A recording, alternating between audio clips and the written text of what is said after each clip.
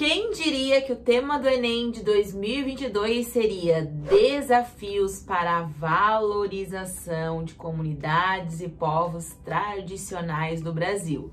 Pegou muita gente de surpresa, pegou todo mundo de surpresa. Era um tema legal porque essa questão indígena e não só indígena, eu vou te explicar, tá? Não tinha caído ainda no Enem, então é um tema muito legal, mas também é um tema fácil de tangenciar, é um tema talvez um pouco mais difícil na argumentação e não, não era um tema esperado. Então a gente vai trocar uma ideia agora e vai falar sobre esse tema que surpreendeu e deixou tanta gente aí com medo da correção.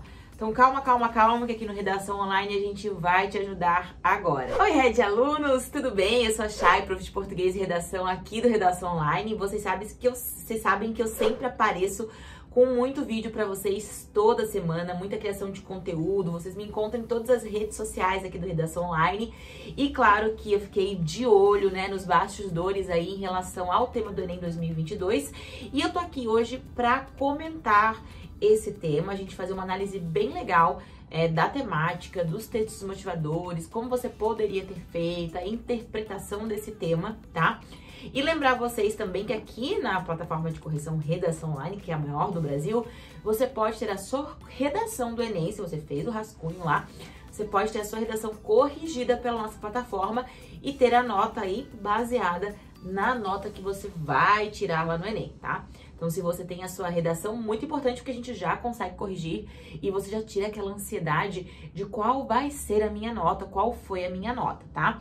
E é bom também para você já ter um panorama aí do seu desempenho. Claro que você também vai aproveitar, deixar o like, ativar a notificação e ficar aqui por dentro do canal, porque é muito importante para você acompanhar a gente, né? Até porque agora você vai pensar o quê? Um pouco chorar as pitangas no Enem 2022, esperar a sua nota e focar também no Enem 2023, se você já sabe aí a média do seu desempenho, tá? Muito importante se pensar agora no futuro. Então vamos lá.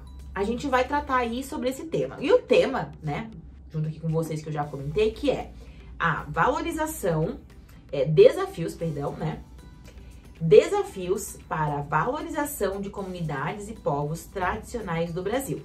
A gente tem aqui algumas palavras-chave que são muito importantes para a gente na hora de interpretar. Claro que também olhando aqui a prova, eu tô com a prova aqui, depois eu vou espelhar aqui é, parte dos textos motivadores enquanto eu comento eles com vocês, que a gente tem que levantar algumas palavras, tá? Então a gente tem que olhar, por exemplo, assim, palavras importantes aqui nessa temática. Desafios, valorização. Né? O que é um desafio? O que é a valorização? Quem são as comunidades e os povos tradicionais no Brasil? Você tinha que pensar três grandes interpretações para essa temática. Antes de pensar na sua argumentação, na sua estratégia de texto, no seu planejamento de texto, você tem que pensar assim: é, o que, que significa ser um desafio no Brasil? É, o que, que significa valorização, tá?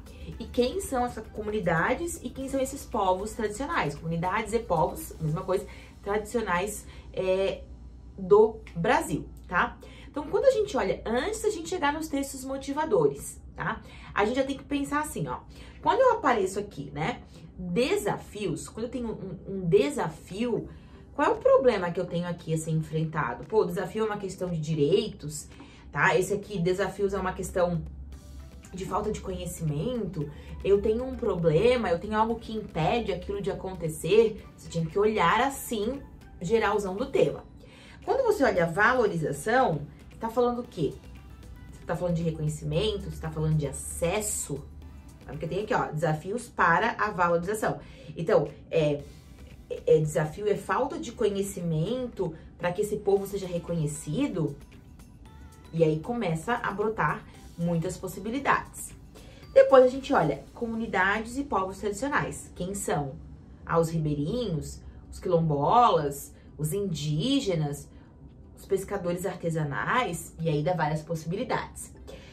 Quando você chega no texto motivador, eu vou botar aqui na tela para vocês o texto motivador, a gente tinha bastante até, eu gostei, porque eu achei que a gente teve aqui quatro textos que ajudaram a embasar legal, né?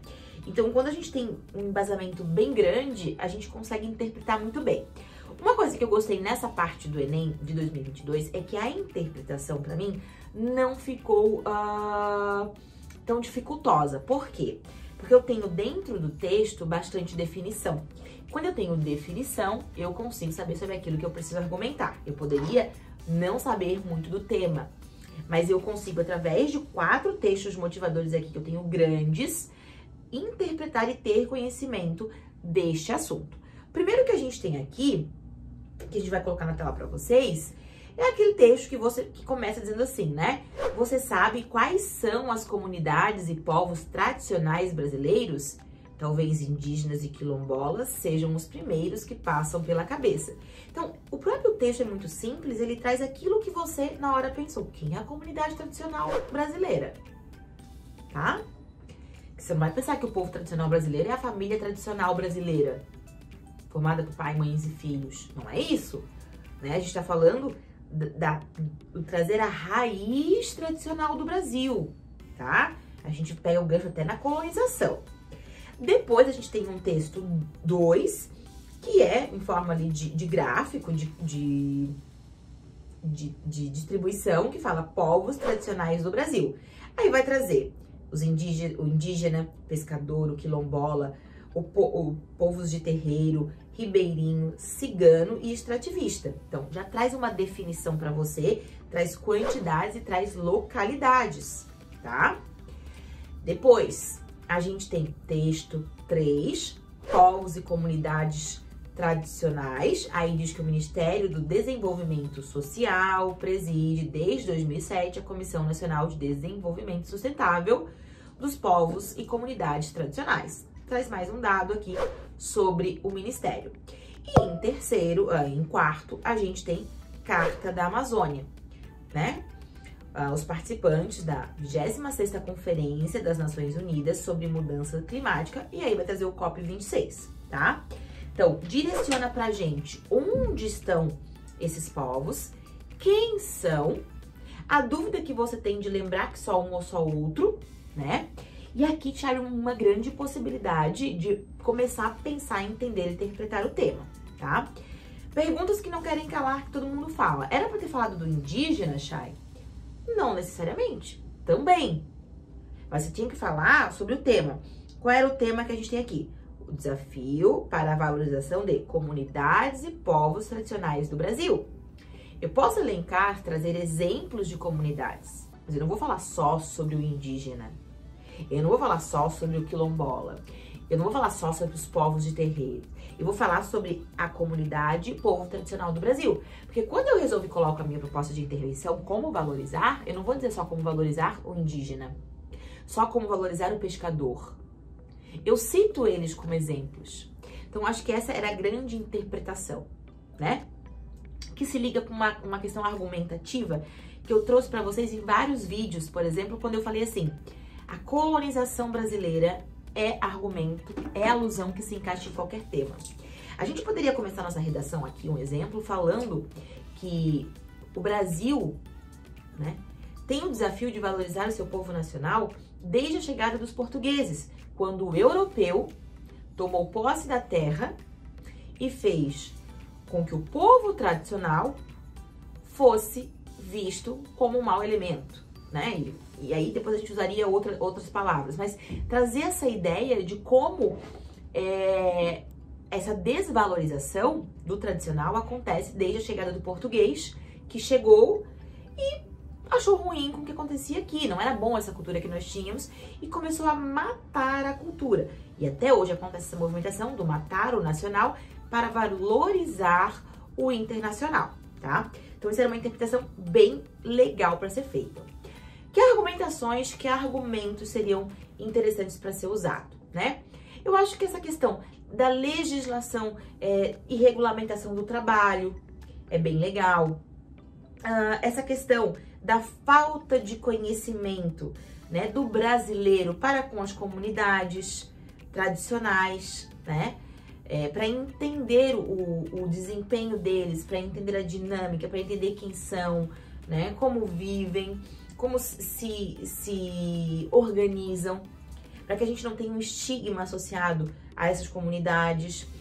Acho que quando a gente fala de valorização, a gente não pode esquecer da garantia de direitos, como todo cidadão brasileiro pela Constituição, então essa igualdade de direitos, que é mais ou menos como a gente trouxe no Enem do ano passado, tá?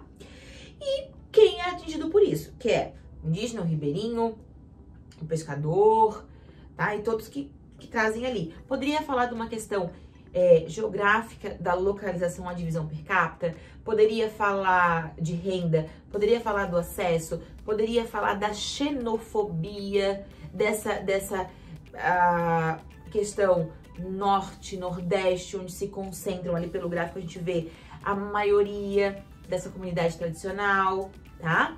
Então, dava para fazer muita argumentação, não era um tema difícil e era um tema que o Enem trouxe muito dado para você. Então, o fato do Enem ter trazido muito dado para você, para mim, foi um acerto em cheio. Não vejo hoje como é, esse tema levar a nota de corte para baixo e nem também ser tão fácil assim a ponto de elevar demais a nota de corte, porque eu vejo muita má interpretação em relação a ter que falar só do indígena, quando a gente está falando aqui do povo tradicional. Então, para você não ter saído do tema, o importante é que você tenha trazido essa questão do, da, da comunidade e do povo tradicional brasileiro, que são as palavras-chave do tema, tá? Essa é a minha visão do Enem. Acho que deu para mandar muito bem. Vocês vão me contando aqui nos comentários qual foi a sua argumentação, qual foi o seu ponto de maior dificuldade na hora, saiu da redação, lembrou, veio várias coisas na cabeça, né? Mas dava assim pra gente falar muito. Foi muito legal, acho que foi muito bem pensado, acho que foi uma abordagem assim interessante é, para trazer uma visibilidade para essas comunidades que pouco se fala, elas vivem à margem, elas vivem na muitas vezes invisibilidade e associado a estigmas preconceituosos também. Então, achei bem interessante, espero que vocês tenham feito um bom texto, tenho certeza que vocês fizeram um bom texto, manda pra gente porque a gente vai corrigir e vai te dar a nota ali igualzinha à nota do Enem, tá? Um beijo e eu te espero na nossa próxima aula. Tchau, tchau!